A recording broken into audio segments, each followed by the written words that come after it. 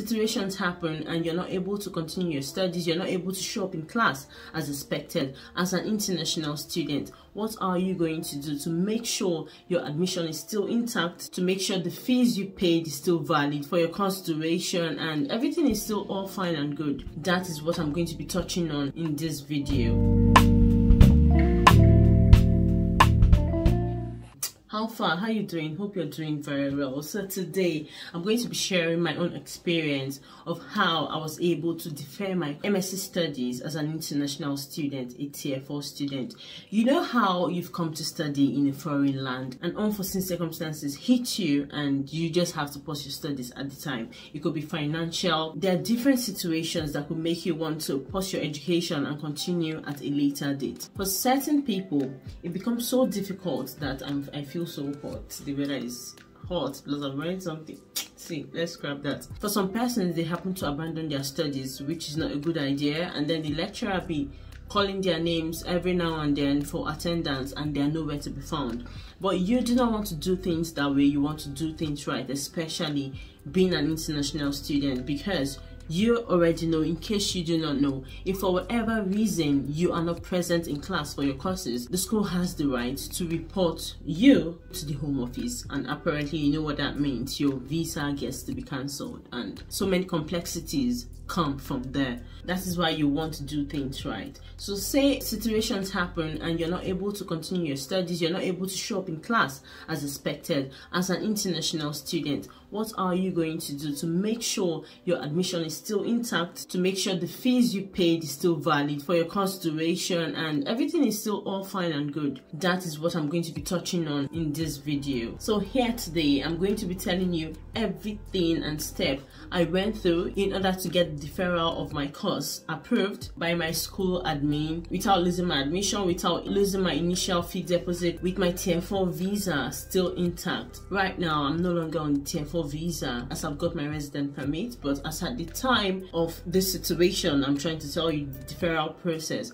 I was still a tier 4 visa. First things, before you think about deferring your course, you need to think if whatever situation is about to make you defer your course is valid. Like, you have to think it through do you think is reason enough to want to pursue your education? You have to convince yourself and be sure that whatever it is you want to put forth to your school admin is actually worth considering, even by you yourself. So you're going to have to be the number one judge before you put it together and present to your school. There are different situations in which people put forth a course deferral, but it's up to the school to choose which is valid enough to grant you a free course deferral because normally if you have to defer your course and the school does not approve it you're likely going to lose your fees lose the admission be at the risk of being reported to the home office. So in my own situation the reason i brought forth to them to grant me a cost deferral was that i was pregnant. My own admission was towards the end of 2016 and as of 2017 I got pregnant with my first child. Being that I was pregnant, the school considered it valid enough reason as to why I'll not be able to attend my courses going forward. But you know what? It was not at the initial stage. So I'd already gone past my first trimester, second trimester. I was heading to my third trimester before I had to put in for deferral. And noteworthy is the fact that I was attending all of my classes despite how difficult it was for me. I was struggling through it all. I never missed a class for one day. I was punctual. My attendance were 100% because as an international student, every time you come to school, you're going to have to sign in, like clock in with your student ID card. Let me also mention that I was doing my MSc studies in international tourism and hospitality management, the University of Hertfordshire, and my school was a business school. I was doing my coursework religiously, I was doing all of my assignments, I was coming for group work, I was defending all of my assignments, presentations, everything 100%. So these are the records the school had to go go through in order for them to see how serious I was in my education. Because many times they have this um pre-notion that especially international students and remember so when i'm talking about is before the two years post-study visa. So you're expected to finish studying and leave.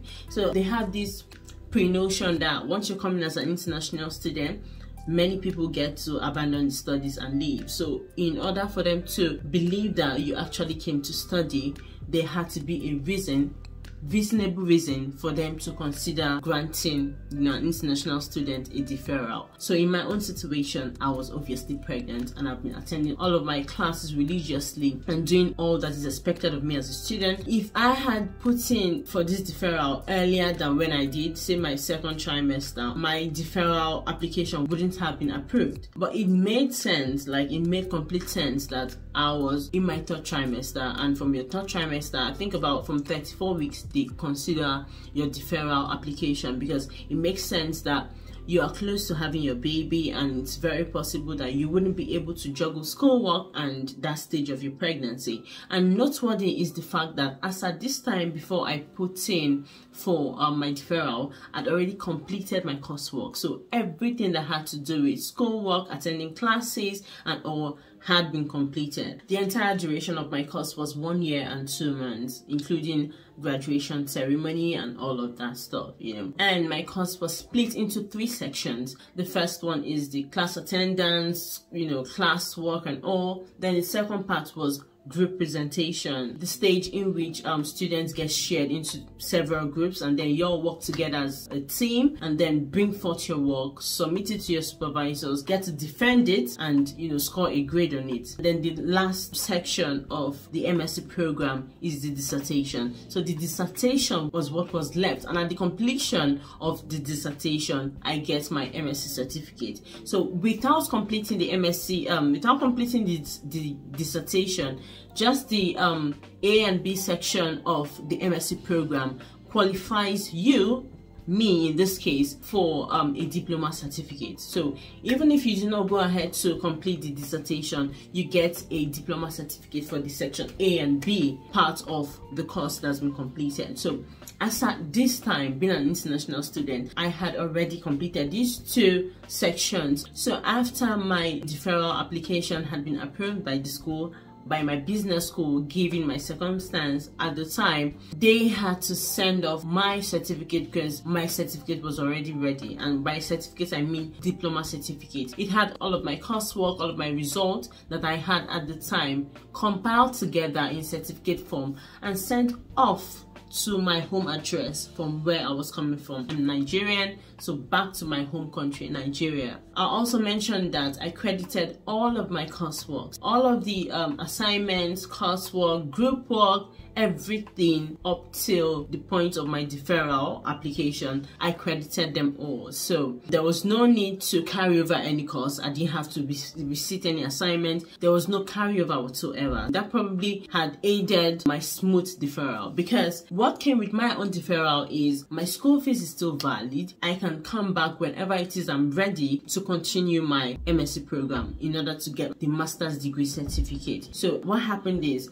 my education was post to be commenced whenever it is I am ready. Which, if not properly done, my admission will have been forfeited. The school fees I paid would have wasted or gone into voicemail and then I'm gonna have to reapply for the course if I still wanted to study. We pay fresh school fees. So yeah what I'm trying to make you understand in this video is as an international student it is very very important that for whatever reason you decide to say financial or anything my own situation for example pregnancy you cannot continue your study. Make sure before the time you're putting in your application you have done a huge lot in terms of your course. You have fully participated and done your best in terms of your education, so it doesn't look like you did not actually come to study you understand that part here also being good communication with your course leader because they will actually give you the best step give you the best advice as to how to go about it whatever your circumstance is your course leader is actually the best person to give you advice